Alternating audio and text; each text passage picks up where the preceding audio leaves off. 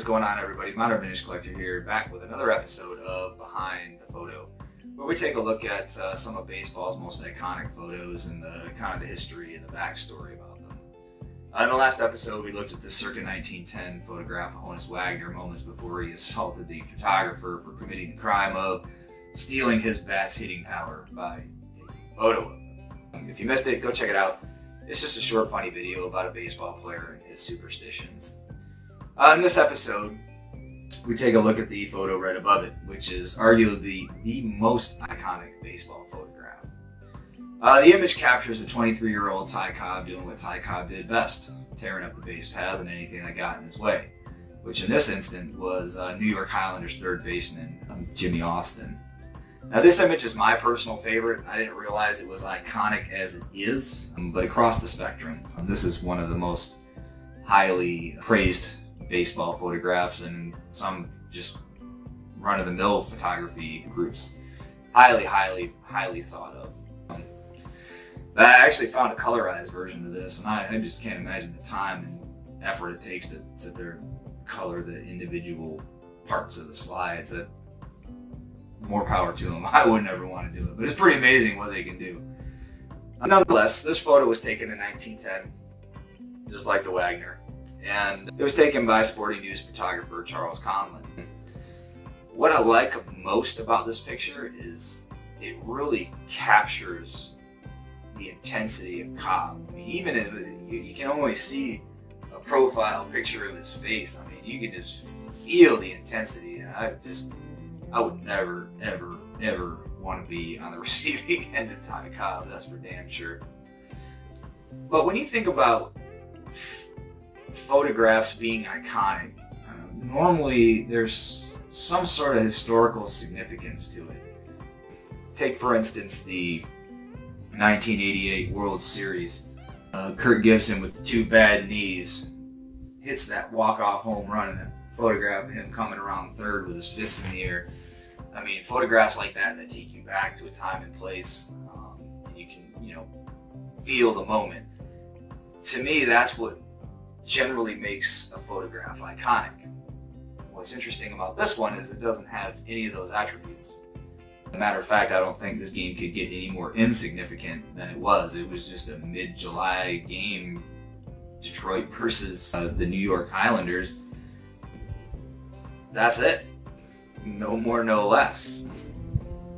Outside of this photograph was probably the only significant thing about it. I'm sure if you dug in the newspapers, you could probably find an article or something if you tried hard enough. But for all intent and purposes, this, this was just a, a, another day on the ball field. But the first element about this photo is the fact that it was an action photo in an era where there really were no action photos. You take into account the technology of the day, a photographer really had to be in the right place at the right time to get something like that. And that's why most photography that you see from this era is, you know, you got Stan Musial standing there with a bat, or you got uh, Jimmie Foxx, Babe Ruth and Lou Gehrig just standing there. Um, Honus Wagner just sitting over his bats. You might get some of those goofy, obviously staged for the camera action shots, the ones that look really awkward. But for true action shots, they were just they just seldom ever happened. You know, the photographers didn't have the option of, you know, the cameras that take 6,000 frames a second. And, you know, you can go back to your computer and flip through and be like, oh, this millisecond looks better than this millisecond, so I'm going to use this one. And now you have this magnificent photograph. And it was really one shot, one kill. So you really only had one shot opportunity to get the the best photo that you could. So they had to be very selective. And when you have to be selective, you're going to miss a lot of opportunities.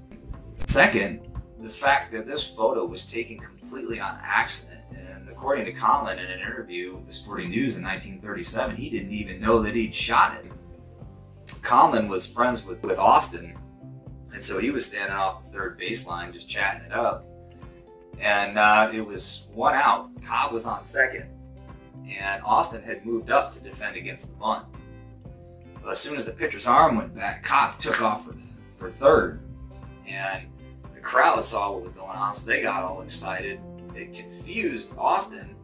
So he awkwardly stepped back and was met by a cloud of smoke containing Ty Cobb and ended up getting pulled over in the process. So Conlon was so caught up in the moment, making sure his friend was all right, he didn't know if he'd snapped the photo or not. So, you know, he played it safe and switched out his cartridge and put in a new one. And, you know, spent the rest of the day kicking himself in the butt for, you know, that missed opportunity of that great photo he could have had. He's quoted as saying, no, now there's a great picture and you missed it. Thinking of, you know, the photo that could have been. But he went ahead and went home, developed his plates, and to his amazement, this developed. One of the most iconic photographs in baseball history. Uh, but you can see that the original photo is much larger than the cropped version that we normally see. But to me, you know, I, I honestly, I like this one better because it takes all the action and puts it in the middle of the frame. But the original photo, you know, is almost a testament to the fact that it was so incidental because, you know, Conlon was a revered photographer. He knew how to shoot, so he wouldn't have had all the action over here and then had this big field of nothing over here. So, you know, that fact right there is just a testament to how incidental this was. And, you know, the, the, the chance that he just caught the action on the left side of the, the left side of the lens. The fact that this photo defied all these odds is nothing short of amazing. Had he been, you know, two inches more to the right, it would have cut half of the people off. So, you know, so I mean, that's really what makes this photo iconic. And naturally, you know, once this photo was released, Cobb went under scrutiny again. And he was already dubbed the dirtiest player in baseball by Connie Mack following the Frank Baker spiking incident of 1909. You know, so for people to see him taking out Austin, you know, was just further solidified people's preconceived notion that he was a, a dirty baseball player. And then he also had the infamous uh, Paul Krichell at the plate, um, where he was jumping and trying to kick him in the in the privates. But that's going to be the topic of my next video, the Cobb Krichell collision at the plate. Um, and along with that, we're also going to talk about Cobb's sliding style, see what other players had to say about his, his base running, and uh, also look at why Cobb always went in spikes first. Um, there's actually a reason for that. Uh, there's a book called My 20 Years in Baseball, which is a composition of articles that he had written for a newspaper um, after his playing days had ended. Uh, if you haven't read it, it's, it's a really fantastic read. It's all about Cobb and his thoughts on life and baseball and how the two related. Good read, real short, but a good read. But in my, uh, just a side note, in my research for this episode, I was, I ended up looking at Cobb's stats from 1910, and they're really, they're nothing short of amazing, especially in the dead ball era.